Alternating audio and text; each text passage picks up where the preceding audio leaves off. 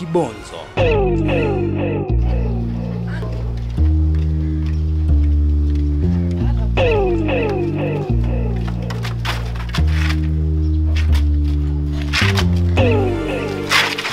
Kwani wewe vipi? Love you. Yaani mimi nakuelewa, yaani nakupenda kana kwamba sijui nikwambie nini. Unajua wewe kuna virutubisho ukivipata hivyo unakuwa mrefu wewe, yaani unakuwa mrefu mpaka ule unapita. Ndio ulichoniitia. Sasa nitakuitia kitu gani zaidi ya kukuitia hichi ninachokupendea mama?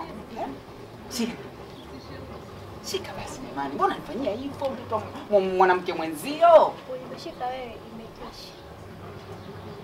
Unajua sisi tuko duniani hapa eh? Tumeletwa na Mungu kwa ajili ya watoto wazuri kama nyinyi. Sikia kwa mimi nina bwana wangu na ninampenda tofauti na unavyofikiria. Unasemaje wewe? Huyu bwana yako sura mwenye sura mbaya yule. Mwanaume ana sura mbaya utafikiri anakufa kesho. Eh? Ndevu zenyewe hazina ushirikiano. Sura akipakaa mafuta mafuta yanadunda.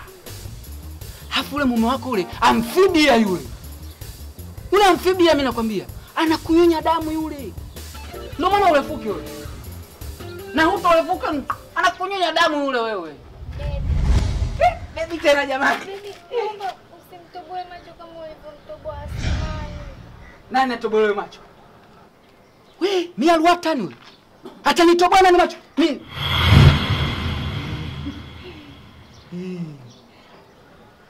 Huyu mchezaji huyu. Unasema mchezaji gani eti? Ah. kwa nini umetumwa dagaa afu unachelewa wewe? Unapotumwa dagaa na mama lazima uwahi kurudi nyumbani. Saa mdogo wangu, itikia mdogo wangu. Eti kiongozi, mfano una familia pale nyumbani eti. Umemtuma mtu nyanya, akichelewa si utamfokea wewe? Na hivyo ulivyokuwa serious wewe mtu atawahi sana kurudi. Unasikia wewe? Ukitumwa dagaa lete dagaa hapa. Huyu nani wako? Nani huyu? Huyu. Huyu, nani huyu? Sijui jirani yangu huyu, mdogo wangu huyu. Eh, Yako unamwambia kitu gani? namwambia kwamba sichelewe anapotumwa na mama.